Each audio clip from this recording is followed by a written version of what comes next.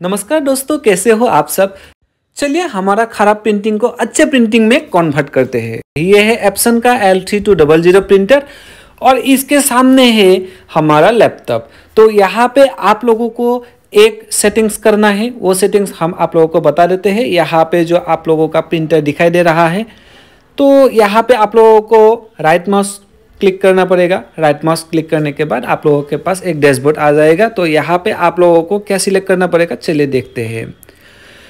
तो यहाँ पे बहुत सारे ऑप्शन हैं। Print head nozzle check print head cleaning और प्रिंट हेड अलाइनमेंट ये तीनों को आप लोगों को सिलेक्ट नहीं करना है। प्रिंटर सेटिंग में क्लिक करना है। आप लोग प्रिंटर सेटिंग में क्लिक कर लीजिए। सिर्फ़ एक सेटिंग से आपका जो प्रिंटिंग का क्वालिटी है वो क्वालिटी बहुत अच्छा रहेगा। दोस्तों तो वीडियो के साथ बनते रहिए तो यहाँ पे आप लोगों को मेंटेनेंस में क्लिक करना पड़ेगा।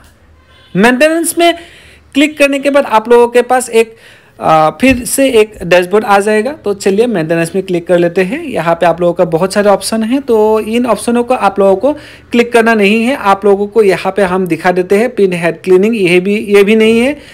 पावर क्लीनिंग का ऑप्शन यहाँ पे दिखाई दे रहा है। पावर क्लीनिंग में आप लोग जब प्रेस करेंगे ना तो यहाँ पे आप लोगों को नेक्स्ट बटन दिखाई देगा। नेक्स्ट बटन में आप लोग क्लिक कर दीजिए, इसके बाद आप लोगों को दो चेक बटन आएगा। इसको दोनों को चेक करना है आप लोगों को।